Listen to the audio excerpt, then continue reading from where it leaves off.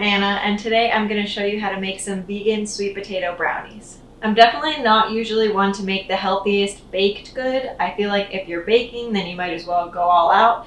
But in this case, you will definitely be surprised. When I first made them, I was shocked at how fudgy they were. They're definitely my favorite vegan brownie and that includes ones with just regular flour and cocoa powder and chocolate and all of that. So please, please try these ones out.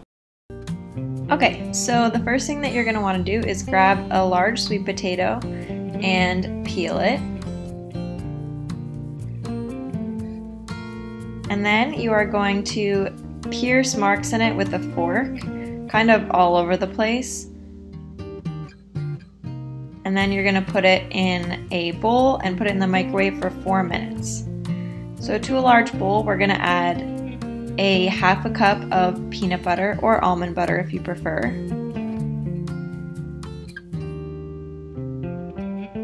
A half of a cup of pure maple syrup. A tablespoon of oil. About a quarter cup of melted dark chocolate. Make sure it's vegan and a teaspoon of vanilla extract. You're going to mix that together as best you can and then you're gonna flip over the sweet potato and put that back in the microwave for another four minutes. Once that's done, you're gonna get a cup of that mashed sweet potato and put it into the wet mixture. Then you're gonna mix that up as best you can. There's still gonna be some clumps in there, but that's okay.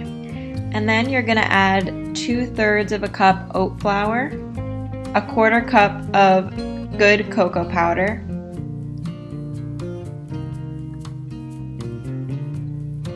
and a teaspoon of baking powder. Then you're going to mix that all up. Chop up some walnuts or any other nuts that you like. And then you can add that in with a little bit of extra chocolate chips, but save some for the top. Mix it together. Put some parchment paper in your pan fill it up and flatten it out. And then you are going to top with the chocolate chips. And then you're going to put these in the oven at 350 degrees for about 30 minutes. Chop them up, wait for them to cool.